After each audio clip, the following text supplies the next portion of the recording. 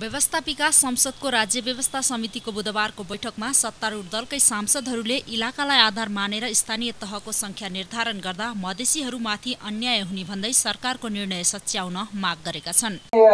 जुन इलाकाहरू थियो त्यसलाई निर्वाचन त्यो हुनै सक्दैन। त्यो नहुने कुरा हो। नहुने कुरा किन जनतालाई सिधै चुनाव गर्ने अवस्था छैन? बैठकमा एमालेका सांसदहरूले पनि स्थानीय तहको पुनर्संरचनाका लागि आयोगले काम गरिरहेका बेला तीन दलका शीर्ष नेताको सहमतिमा इलाकालाई आधार मानेर पुनर्संरचना गर्ने सरकारी निर्णय आपत्तिजनक भएको बताए।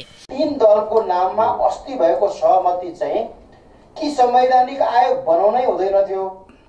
संवैधानिक आयोग बनिसकेपछि हिजोका जिल्ला विकास समितिका इलाकाहरू नौ सय सत्ताइसलाई आधार मान्छौँ भनेर तँलाई टाउको मलाई पुच्छर बराबरी भयो भन्ने टाइपको सहमति गरेर मिल्दैन।